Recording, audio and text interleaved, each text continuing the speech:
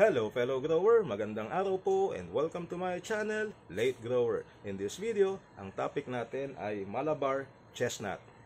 Popular din siya sa tawag na money tree.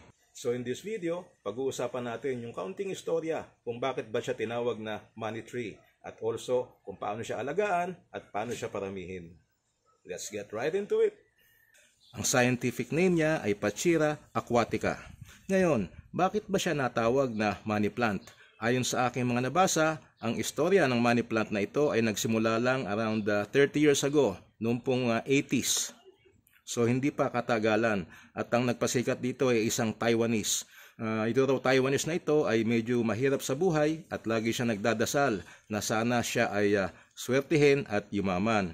And then sa kanyang lugar, napansin niya itong uh, punong ito at naisipan niya na ibenta.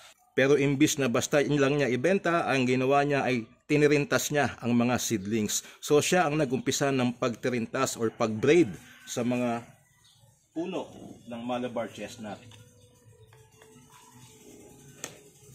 So dahil sa ginawa niya, maraming nakapansin, nagandaan sa kanyang ginawa, marami siya naging benta at dahil doon ay yumaman siya. So sinuwerte siya dito sa halamang ito at ang naging tawag niya dito ay uh, Yao Chen Shu sa salitang Mandarin at sa English naman ang ibig sabihin ay cash cow. Yung cash cow naman sa Tagalog, ang tawag natin ay uh, tagapagdala ng pera. So, imbis na cash cow ang itawag, literal na translation ng Yao Chen Shu, ay tinawag itong money plant. At uh, doon na po nagumpisa, sumikat na ang halamang ito at ito ay lalong mabenta pag panahon ng Pasko, Bagong Taon, lalo na ng Chinese New Year. Pero prior to that, ang tawag sa kanya ay Malabar Chestnut. Meron pang mga ibang istorya na nababasa sa internet pero ang kadalasan po ay yung tungkol sa istorya ng Taiwanese na nakadiskubre kung paano gagawing uh, mabenta ang uh, tanim na ito sa mga customer. Itinuturing din ito na feng shui plant. Sinasabing nagdadala ng swerte at kaginawahan sa buhay. Ngayon, itong money plant, kadalasan po ang dahon niya ay 5 hanggang 6. So, kagaya nito, 5 ang dahon. And then, meron ding 6 na kagaya nito. Yun daw limang dahon represent five elements. Nandiyan yung uh, earth, water, fire, wind, and metal. Pag daw anim ang dahon ng iyong uh, money plant ay mas lalo kang suswertihin. Meron din pagkakataon na nagkakaroon ng pitong dahon itong uh, money plant at pagkaroon nakakita ka ng pitong dahon dapat ay uh, tumaya ka sa loto at uh, baka daw swertihin. Anyway, yun naman po ay uh, kasabihan lang pero pwede rin subukan. Pagdating naman sa pag-aalaga, ang money plant ay isang perennial at mas gusto niya ang outdoor kesa sa indoor. Pwede rin siyang ilagay sa loob ng bahay basta po uh, maliwanag yung uh, bahay ninyo o kaya nando siya sa tabi ng bintana na kung saan siya ay nakaka-receive ng uh, maraming sikat ng araw sa maghapon. Pagdating naman sa tubig, sa pagdidilig sa kanya, ayaw po ng money plant ng laging basa ang lupa. So ito, pareho niya nakatanim sa paso, pwedeng once a week lang ang uh, pagdidilig sa kanya. So hintayin mo nang matuyo ang lupa. Mas gusto niya yung lupa niya is on the dry side. Ang senyales po na nasusobran siya sa tubig ay makikita niyo yan pagka natutuyo yung dulo ng kanyang dahon. So pag napansin nyo ito, ay uh, medyo awatin nyo na ang uh, pagdidilig sa kanya at uh, hayaan na matuyuan siya ng lupa. Pag nakatanim sa container ay maaawat natin yung kanyang mabilis na paglaki at dito ay pwede natin siyang pagmukhain na bonsai. Pag direkta naman nakatanim sa lupa ay pwede pong lumaki ng gusto ang inyong money tree. Kagaya nitong money tree na nasa akin na more or less ay nasa 20 to 30 feet na siguro ang uh, taas nito.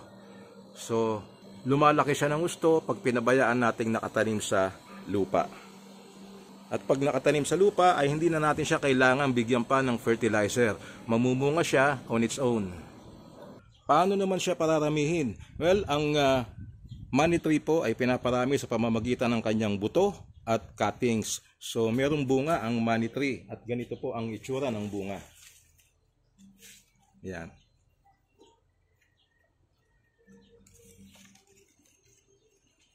So itong bungang to, ihintayin lang ito na mag-brown para madali siyang buksan.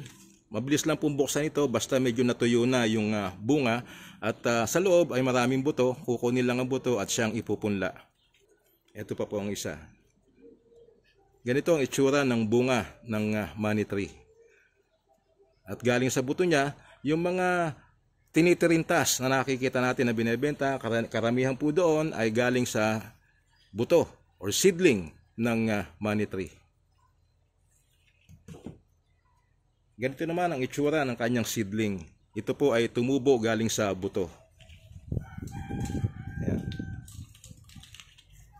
So gaya ng sabi ko, itong mga seedling ang uh, tinitirintas, pinagsasama-sama dahil malambot ang katawan niya, pwede pa siyang i-braid or itirintas. So bukod sa buto, pwede rin po tayo magparami ng money tree gamit ang kanyang sanga. Itong kanyang stem, puputo lang tayo nito and then ating pauugatan pwede po direkta sa lupa or pwede rin sa tubig. Mas maganda kung direkta sa lupa. At ang kinukuha po dito kadalasan ay yung mga kulay green pa, yung kanyang stem. To demonstrate, kukuha po tayo ng cuttings dito. Total, ah, itong aking money tree ay medyo humaba na so kailangan natin siyang bawasan. Pumuto lang tayo ng more or less mga isang dangkal or kahit mas maigsi ng konti. Bawasan natin siya ng dahon.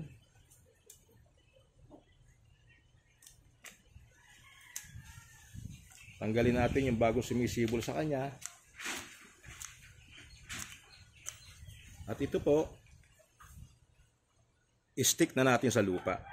Kung halimbawa naman, ah, manggagaling sa malayong lugar yung inyong cuttings, maganda po ibabad muna natin sa tubig bago i- i- biyahe o kaya ay ibalot natin sa basang papel pag ating ibibiyahe. Pero pagka po direktang itatanim, pwedeng hindi na natin siya ibabad sa tubig kasi babasain naman natin yung lupa.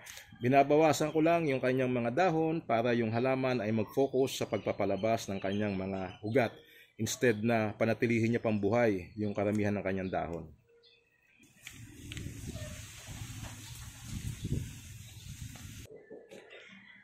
Tusok lang natin siya sa lupa, sa paso.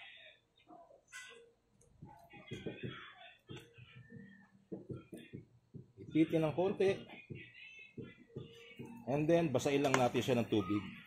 At ah, hintayin na umago sa ilalim ng ating paso ang ah, tubig para mabasa siya ng gusto. Yung lupa natin, ah, hindi naman pumaselan sa lupa. So kahit ordinaryong lupa lang ay pwede tayong magpaugat itong uh, money tree. Malalaki po ang ugat niya. So hindi siya pihikan sa lupa. Pero maganda na rin kung ang lupang gagamitin natin ay medyo buwaghag para yung tubig ay hindi natatrap para maiwasan na mabulok ang tangkay ng inyong pinapaugat na money tree. So itong cuttings na ito, ilalagay lang natin doon sa lugar na malilim, yung hindi siya direktang naaarawan. At hihintayin natin na siya ay magkaugat. Gaano katagal bago magkaugat? Mga isang buwan po. Hintayin natin yan na magkaroon ng mga bagong suloy. At yun ay senyales na meron na siyang ugat. And then, uh, pag meron na siyang ugat, pwede na natin siya paghiwa-hiwalayin or pagsamahin na lang dito sa isang paso. At ilipat sa mas malaki. Ito po ang itsura ng dahon ng uh, money tree pagka magulang na. Oh. Kagaya nito, anim ang dahon niya. So, malalaki ang dahon. Itong ganitong magulang na sanga, pwede rin po natin subukan na paugatin. Pero kadalasan po talaga ang uh, pinapaugat ay yung mga ganito na kulay green pa ang tangkay. Pero pwede rin natin subukan ito. By the way, ang buto po nitong uh, Malabar chestnut ay nakakain. Basta't hintayin lang siya na medyo mahinog. Uh, bumabagsak lang ito sa lupa. Pag bumagsak ay nabibiyak na. So basta nahinog ay mabilis mabiyak itong kanyang uh, balot. At yan po ang ating video tungkol sa Malabar Chestnut, money tree kung tawagin ng karamihan. Maraming salamat po sa panonood and hope to see you in my next videos. Bye-bye!